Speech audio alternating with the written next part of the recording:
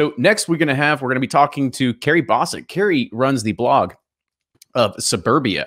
Now today what we're going to be doing is kind of a, a little bit of what we're kind of doing today, right? Kind of doing a, a virtual tasting, but this is actually a host a, a kick-ass bourbon tasting, whether you're virtual or in person. So Kerry, how you doing? Good, man. Thank you for having me.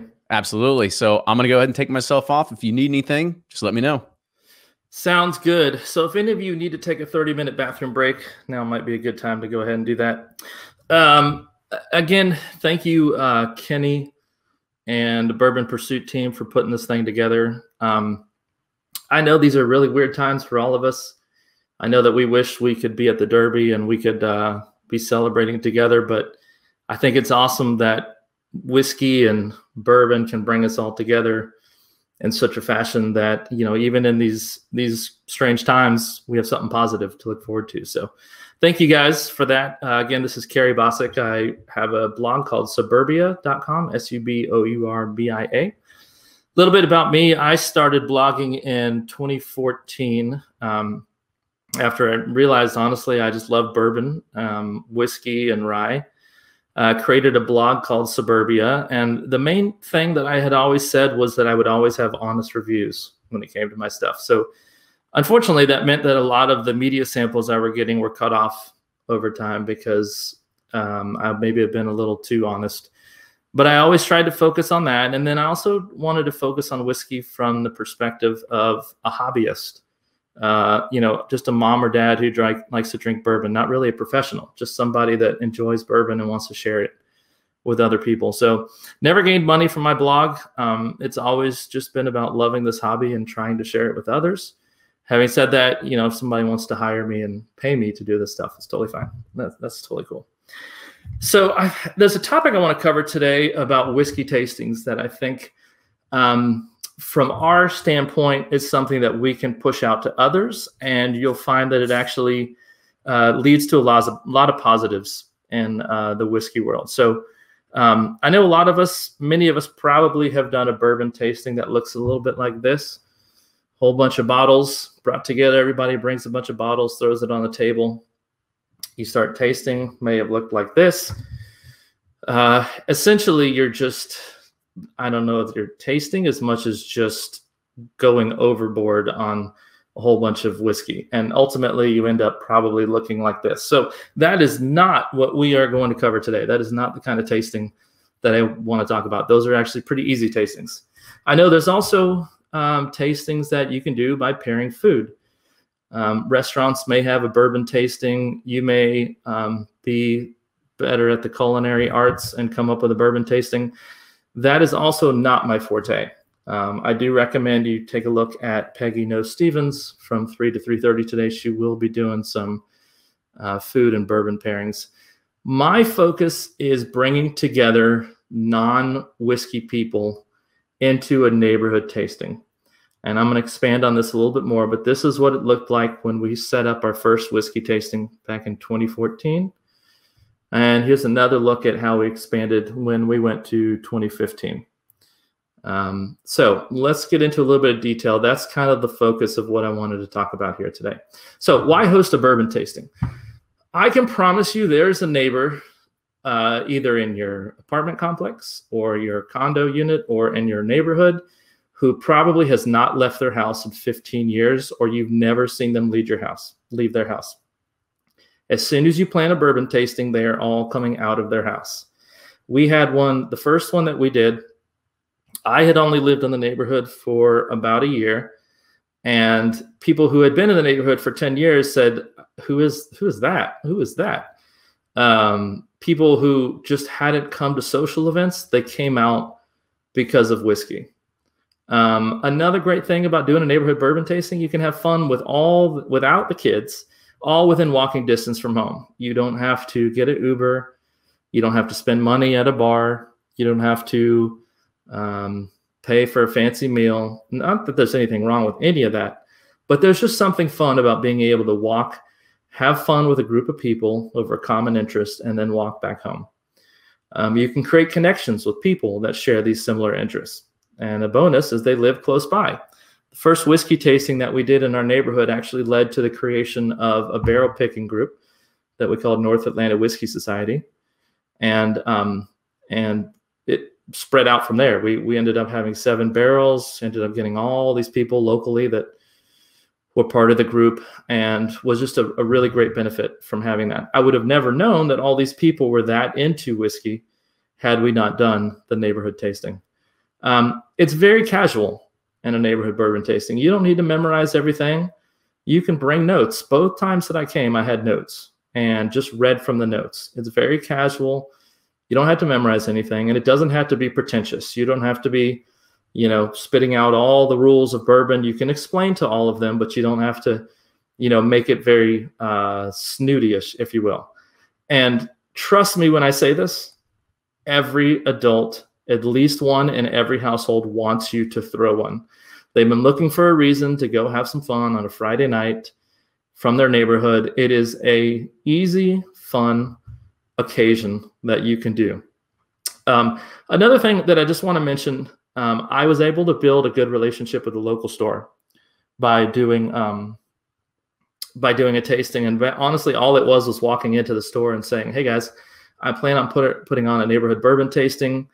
Uh, this is my idea. Do you want to, you know, if you guys can get me the bourbon that I need, of course you're paying for it, but for some of the higher, the harder to get stuff, if you can help me get it, you know, I'm happy to put cards for your store up, that kind of thing. So it was, it was, a, it's a great way to help build a relationship with a local store. So fall of 2014, I um, I had my first bourbon tasting in the neighborhood. I had just gotten into bourbon, uh, as you can see, I was really skinny back then, so I had not um, really started started the bourbon. Um, I had not yet started a blog. Um, I didn't know much about bourbon except that I liked it. Um, again, I stood there and I read notes that I had, and it was an incredible time. To this day, people still talk about the first bourbon tasting that we threw and how it brought out a neighborhood of people who had not had events in a while. Now, at the time, Elmer T. Lee and Eagle Rare were not as difficult to get. So I think one of the one of the things you have to work with is what's an easily accessible bourbon. And 2014, you could get Eagle Rare very easily, and Elmer had just started to get a little bit tougher. But my idea was to focus on three uh, Buffalo Trace low proof bourbons that at the time were not hard to get. And then there was a craft uh, whiskey that provided me a barrel, which I thought was the coolest thing ever. So I, you know, I brought um, I brought the barrel, and um, I'll, I'll, talk about having a craft mixed with established distilleries a little bit later. But that's the first one we did. So you'll see here on the left, I stood there with notes that I printed out because I didn't know that much. Um, you know, I mean, I knew like I said, bourbon was could be made anywhere in the U.S. and I knew some of the basic rules. But one of the things people still talk about is that I had custom engraved glasses made for the event. They were they were cheap. They were not that expensive. I want to say they were like eight bucks a glass with the engraving. And people still to this day will say, I still have my Chad's Walk, um, you know, custom engraved glass, and I love it. I personally drink too much bourbon, and the dishwasher took off all of the the stuff on it. But if you're somebody who maybe doesn't drink as much bourbon, um, a custom engraved glass is a way to go. It's something that will carry the memory of that night with you forward um, for a while. So, so that was a really fun time. Uh, fall of 2015, cha- things changed a little bit.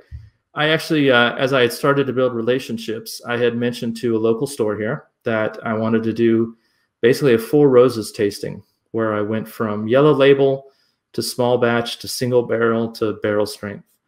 Um, I think at the time I'd only been in the hobby for about one year, had some store relationships, but it was not a lot. But honestly, it doesn't take a lot. Um, it's honestly as easy as going in, talking to the the bar man, the liquor manager, and saying, "I'm hosting a bourbon tasting for 40 people in my neighborhood.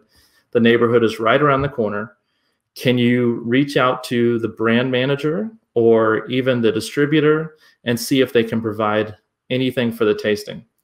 So this year for the Four Roses tour that I did, I got t-shirts, hats. I got a um, little uh, books, Four Roses books. I got pamphlets. I don't remember what was in the pamphlets. A little tasting sheet, and then actually a barrel head that I got. So it was just it was cool. Now I did buy all the whiskey. None of the whiskey was provided for free.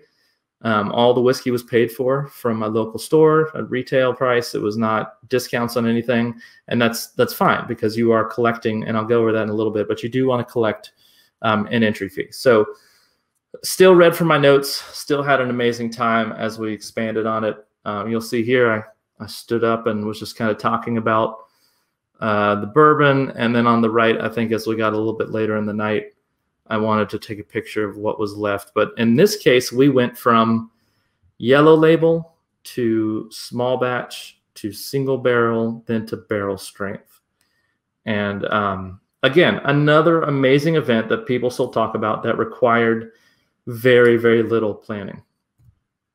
Fall of 2016, some people had said, hey, maybe we try not bourbon and I said, okay. So we spread the love out to other whiskey because look, this is a whiskey from home conference. We're all about all the whiskeys, so it's not a problem. So we we did rye uh, with Sazerac rye. We did single malt. We did blended malt. We did Japanese whiskey. Also had some uh, wheated whiskey. Um, the one from Heaven Hill. I'm drawing a blank on it now, but um, we did that one. And people actually asked if we could go back to bourbon after that. So I think one of the important things is to kind of remember your know what your audience is. You know, here in Georgia, bourbon reigns supreme, um, but there's a lot of areas where it may not, and people may want to branch out to different stuff. So we just learned after our third bourbon tasting that people love bourbon uh, more than anything else. So let's talk about how to host a whiskey tasting. First thing, very simple. If you have an HOA, or you have a social chair, then send them an email and say you want to host a whiskey tasting. That is step number one. It's easy. All it takes is a small email. And I promise you that nine out of 10 times, the people are going to say, That is a fantastic idea. I would love if you would do that. Um, the next thing you need to decide is where you're going to host it. There are a lot of common areas that, for example, in our neighborhood, we have tennis courts that have a pavilion. So it's a covered outdoor area. And we decided the tennis pavilion was perfect. Um, if you don't have a clubhouse, if you don't have a pool house, maybe even just a cul-de-sac, like let's let's come into a cul-de-sac where everybody can get together, maybe in the middle of the neighborhood, um, somewhere we can get together and um, you know have it. Worst case scenario, you can have it at your house. Just be prepared for a mess and the cleanup involved in it. At least when you're in a mutual area, it's easier for everybody to clean up. Um, decide what kind of whiskey tasting you're going to have. So, of course, you know here you can, it's up to you um, what you want to do. You can focus on a single style of whiskey, um, which I, I do recommend. If you're going to do a whiskey tasting, stick to one type of whiskey. Stick to either bourbon or rye or single malt. I think when you get into the mixing the different kinds, you really confuse their taste buds because they may really love the smoothness of a bourbon, and then they get the spiciness of a rye, and then maybe they get the saltiness of a single malt, and it's just going to confuse them. Try to focus on a single style. Uh, be aware of the weather in your area when choosing your date. I, I mean, uh, uh, yeah, I'm, it's pretty obvious. If you can have a covered area or somewhere you can do it inside, that's always preferred. I fully recommend a Friday night. Everybody is is you know you're tired but you also really want a reason to leave your kids and go get some alcohol. So um, friday night to me is a great night to do it in your neighborhood. And this is really important. I did not want to involve the food pairing. The, the food pairing is a whole nother level of palate refinement that i don't have because i mean i eat pizza bites after having bourbon. So I say just try to do it after dinner. Schedule it for 8:30 p.m. on a Friday. Of course, we want to have some snacks because we we don't want things to go downhill, um, you know, as quickly as that. But 8:30 p.m. on a Friday night had the the best um, reception and the most amount of people possible. So try to stick to something like that. Okay, so the hardest part again, selecting the whiskey. I think four to five options um, is good. You don't want to go too much more than that because you really want to kind of focus. And once you get past maybe the fifth option, uh, then the buzz is taking over and the taste buds are maybe burned a little bit, and you're going to find that people will stop really being able to taste the whiskey. So Um, you can do, you know, this is where you can get creative. You could do whiskey from the same distillery or the same state or country, uh, distilleries with similar mash bills. You know, find a theme, and honestly, whatever you decide, people are going to love. Get creative with it. It doesn't matter. People just want to hang out. One important thing I would say is don't try to mix craft whiskey with older distillery and established distilleries. We did that with our first one, and it's just had it's there's no chance for the craft whiskey to hold up against that. It's okay to do a craft whiskey tasting, but I just think that when you bring the young profile with a lot more of the alcohol taste into a smoother, older bourbon, you don't give the craft whiskey a chance. Um, try to stick with lower proof. You know, a lot of the people that are coming, I'd say half of them maybe typically drink 80 proof whiskey with soda, and that's okay. But if you start pulling out the 120 proof bourbon, you're going to burn out their taste buds pretty quickly. So if you are going to have a stronger proof, I would say maybe push that towards the end and start with the lower proof, something that's a little easier for them to start trying. And be creative. Look, keep in mind most people just want to hang out and they want to drink good bourbon. They're not judging what you selected. They're not judging what you're going to say. They're actually going to be honestly come away impressed. I didn't know barely anything I was talking about my first year. And people said, I'd love how you told us about the whiskey. I love that we got to try the different whiskeys. And they focus on the positive, which is honestly sharing a great time over a single uh, product, which in this case, of course, is whiskey. So, a little preparation. Reach out to your local store, tell them what you're doing. Say, hey, I'm going to do a bourbon tasting. I've got 35 people lined up. Is there any chance you could reach out to uh, the distillery or the brand that you've chosen, see if they can provide some swag, glasses, um, t-shirts, marketing material, anything that you can get as just stuff for people to take home with is always is good, and it doesn't cost you anything. You're just asking people, hey, can do you have some stuff? Um, see about getting someone to make you glasses for your event. Again, this was this was kind of a big deal. We um, had some glasses made with Chad's Walk bourbon tasting on them. People still talk about the glasses that they got to take home and and really appreciated that as just kind of a souvenir uh, and a memory that they could take with them. Uh, charge a cover fee if your HOA won't cover it. We had a specific cover fee up front. People paid it. Um, nowadays, you know, you can just use Venmo and collect ahead of time. We had I actually hired a, a, teenager in the neighborhood to set up a table.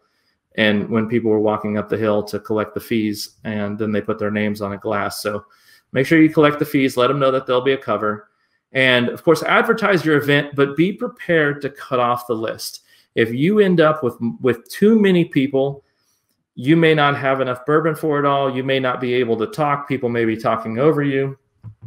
We, our first event was 35 people. And to me, that was a that was a great size. Our Four Roses event got to be about 45. And then the uh, general whiskey event got to be about 50, which to me was a little bit, it was a little bit high. It's a little bit too much. So just try to keep it at a good number and don't be afraid to say, look, we're cut off unless somebody else um, cancels. So some things that you need. Um, first off, you're going to need a cooler with bags of ice. You, of course, people are going to want to put ice in their whiskey, and that is totally okay. However, they want to drink it, we're not concerned.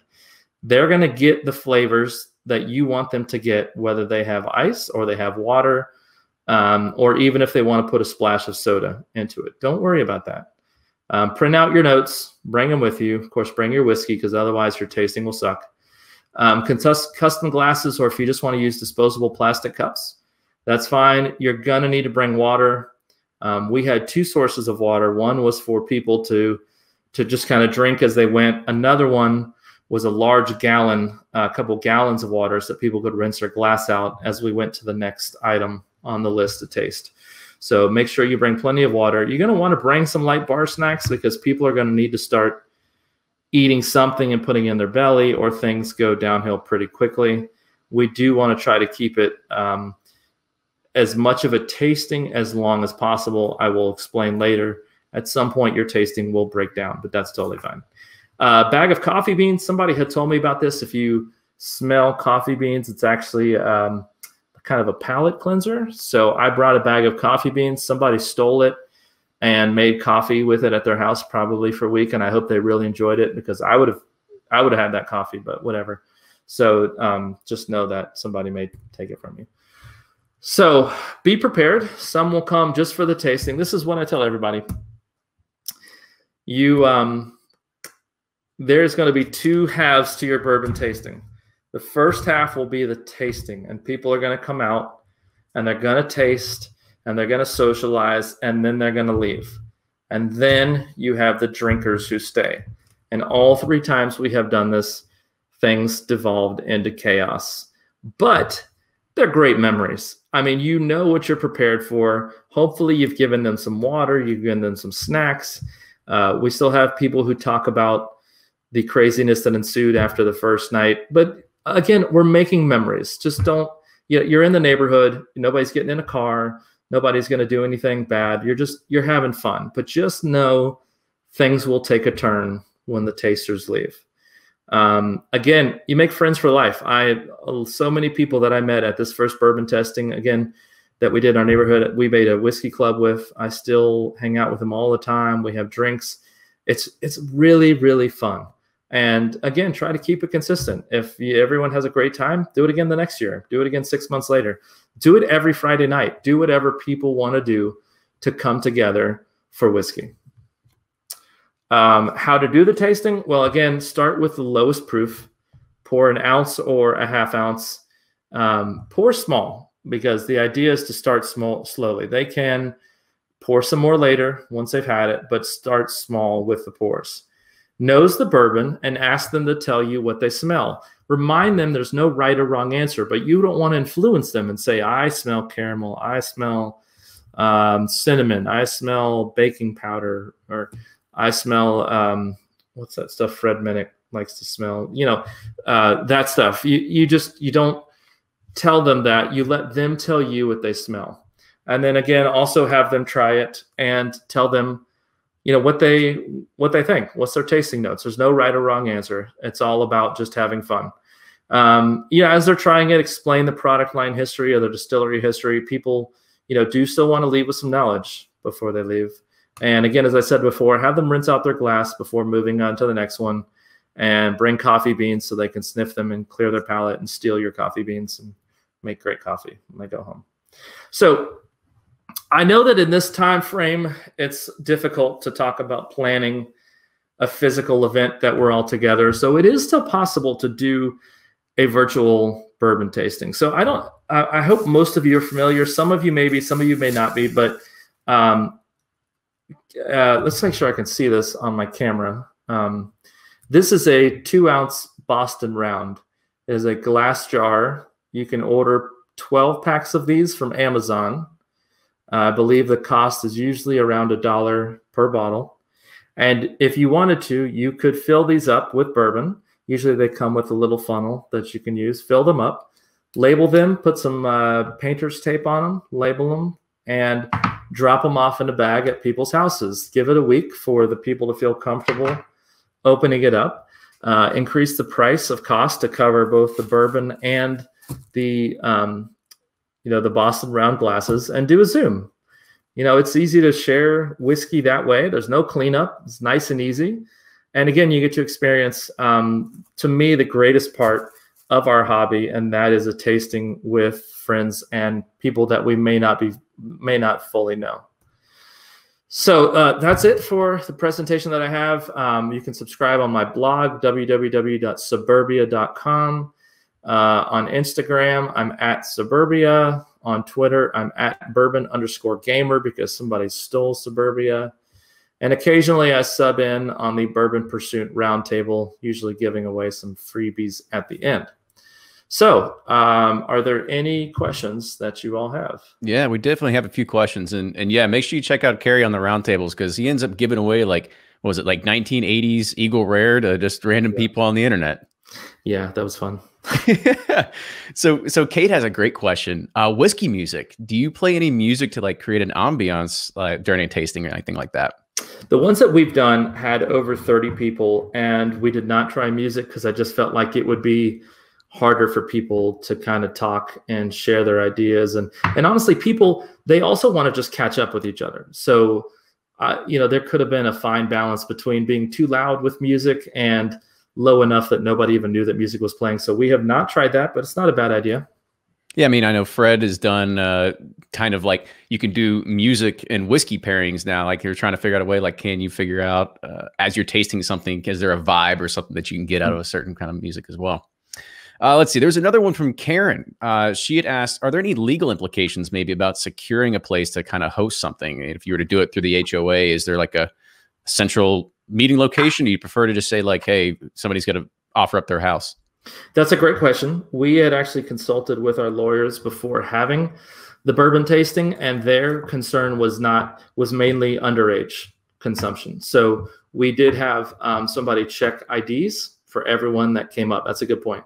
Um, we checked everyone's ID to make sure that they were over 21 uh, that came up, but there did not seem to be any liability issues um, from being in the same place and drinking like that. It's like Club Kerry. Yeah.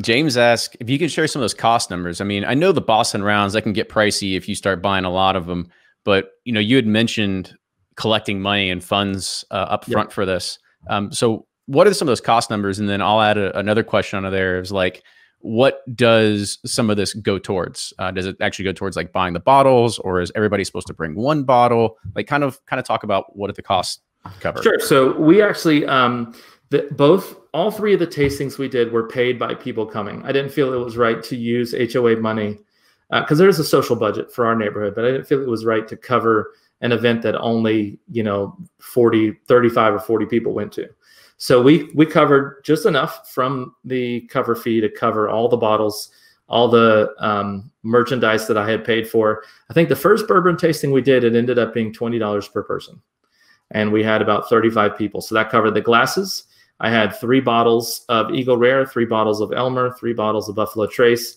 and I was given for free that cask that had a local craft um, thing, and it also covered the water, the ice. So we we broke even on that. The second one, um, I think it was also twenty dollars, but I had a lot of uh, the glasses were free. They were provided by Four Roses. All the merchandise was free. So I think pretty much everyone we did, we tried to keep it so that it was a $20 cover fee and people were fine with that. They'd come up, they'd bring the $20, we'd mark them off on a list and it didn't cost the HOA any money. Yeah. Keep it, keep it easy. Yeah. Don't, don't blow out a budget. I guess that'll yeah. be fine. Um, you know, another kind of question that uh, came in here is how did you do your invitations? Did you do like a, like a funny, like jib jab or something like come meet Kerry, yeah. like a bobbling head? Uh, no, I um, actually sent out an email to uh, the neighborhood at the time. It was just a, hey, is anybody interested in doing a whiskey tasting? If so, send me an email. And then I put a sign at the front of the neighborhood that said whiskey tasting. Email me. And uh, it's like everybody turned into the neighborhood and was like, yes. And my emails just started coming in and coming in. And uh, so those were the two ways I did it. One was a, an, an email to the neighborhood. Now, some neighborhoods, you may have, you know, the the sheet that you can put in people's um, doors. But I think honestly, just putting a sign up and say you know, at the front of your neighborhood or the front of your complex, whiskey tasting, um, give it an evening um, RSVP to, give an email address, say $20 cover fee. I think that's a great way to kind of get the word out. I think uh, you kind of like jogged my memory of like old school. Be like, Frank, I heard you, or like, hey, I heard you're starting a fraternity, right? Yeah, yeah. I want in. I, I want in. I want in. Now, the other kind of thing that you had brought up is I, I think that most people probably never even think of it of actually going to a, a, liquor store and saying, like, hey, can you contact the rep and figure out like, is there kind of swag? So what's like the coolest swag that you've ever gotten as a part of doing this? Definitely the four roses was the coolest thing I've ever got. And I I I couldn't even believe it too. The the uh the local store I was working with reached out to four roses rep and said, uh, here's a guy, he's doing a bourbon tasting, he's doing all four roses he's bought all the four roses from our store. So he bought, uh, I believe, I bought two of each um, yellow label, small batch, single barrel, and barrel strength. And they said, "Can you provide anything for him?" And I'm telling you, two days later, at my doorstep was uh, 24 glasses and the barrel head, a bunch of T-shirts, the Four Roses books. I mean, they they went to the nines. And I think a lot of distilleries they want to, you know, they want to give you this stuff. They know that you're now presenting a brand to 40 people and 30 may have never heard of it before. And they may leave there saying, I want this brand. I want Four Roses. I want Buffalo Trace. I want this Elmer T. Lee. Tell me what store I can go to get it in. So I think you know brands probably are, are willing to give you some stuff. You just need to. You can't hurt to ask. Yeah, absolutely. Well, Kerry, thank you so much for coming on. It was fantastic. I know there's actually some people in the chat that said they want your presentation. So I'll get the, I'll get it uh, and any presentations after this, and I'll make sure I send it uh, with a link that anybody can download through Eventbrite. So make sure that you're registered through Eventbrite, and you'll get the opportunity to download those as well as you saw the coupon code to get Brian's book earlier. Awesome. But hey, Kerry, appreciate it. You did an awesome job, man. Thank you so much for having me, guys. You got it. Talk to you soon. Bye bye.